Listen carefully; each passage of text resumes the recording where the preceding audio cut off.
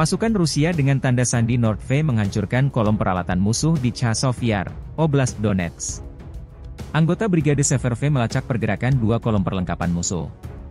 Koordinat musuh dikirim ke tim artileri.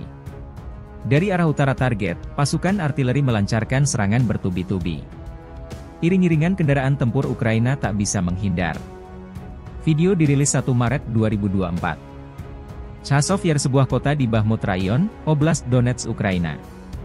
Pada Januari 2022, jumlah penduduknya mencapai 12.250 jiwa. Terletak 10 km sebelah barat Bahmut. Ini adalah pusat Romada perkotaan Chasiv Yar dan salah satu target penting Rusia untuk direbut tahun ini.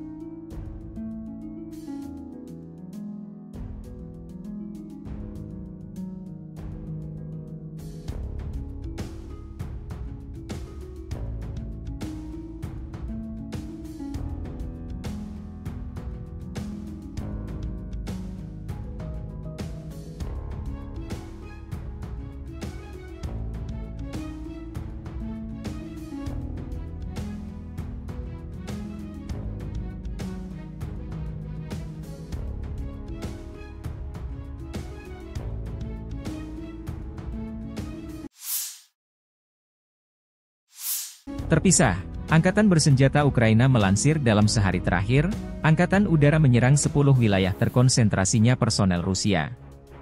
Juga, unit Angkatan Udara Angkatan Bersenjata Ukraina klaim menghancurkan tiga pesawat pembom tempur Su-34. Satuan pasukan misil Ukraina juga menggempur tiga area konsentrasi personel, persenjataan dan perlengkapan militer Rusia, 3 sistem roket Salvo BM-21, Grad, 2 sarana artileri, 2 titik kendali, 1 gudang amunisi, 1 sarana peperangan radio elektronik musuh. Secara total militer Rusia kehilangan 414.680 tentara di Ukraina sejak awal invasi besar-besaran 24 Februari 2022, demikian dilansir Staf Umum Angkatan Bersenjata Ukraina 1 Maret. Jumlah ini termasuk 920 korban yang diderita pasukan Rusia dalam sehari terakhir.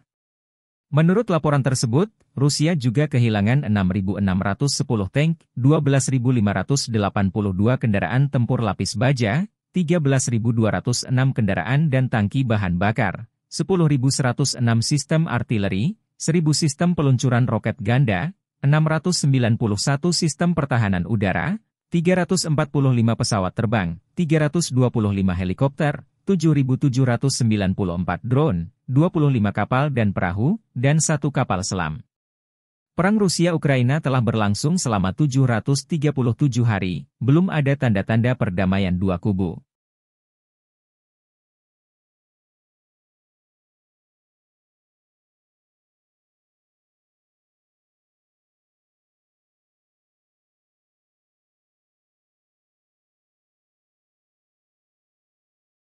Download Tribun X sekarang.